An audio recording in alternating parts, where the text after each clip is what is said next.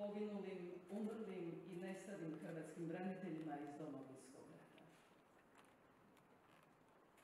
Pukovnik Zdravko Šaplin.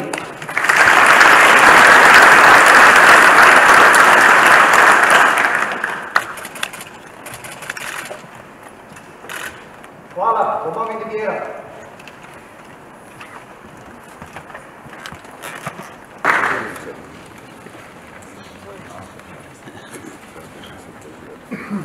Hvala, domovini vjera.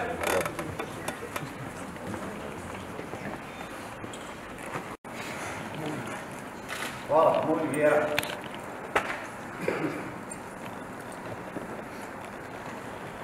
Svečanost je u prigodu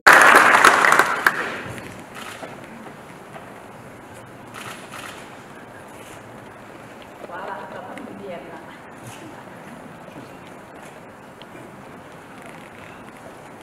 Pukovnik Tihomir Bastarec.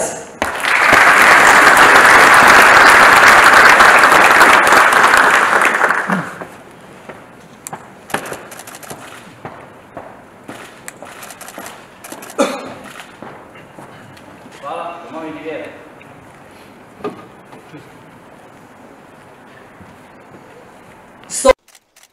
Tako prije svega čestitati vam Dan pobjede, Dan domovinske zahvalnosti, Dan hrvatskih branitelja.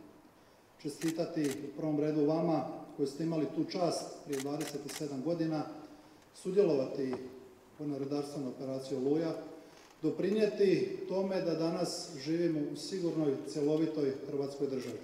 Želim čestitati e, svim pripadnicima i pripadnicima Hrvatske vojske.